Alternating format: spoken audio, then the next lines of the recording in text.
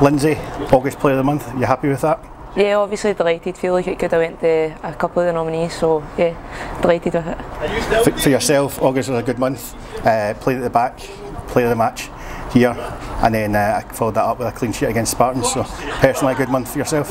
Yeah, personally a good month. A lot of work to still do, but a good month I'd say so far. Another tough game here against Rangers tomorrow night. What's the mood of the camp ahead of that one?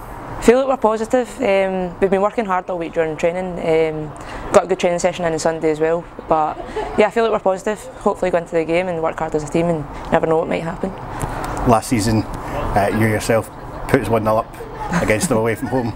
Uh, we're very unlucky to lose 1 0 here, so uh, we've got to take a lot of confidence from those results and those performances. Yeah, definitely. I feel like there was a lot of games last season that we did take a lot of positives from and a lot of confidence. So yeah,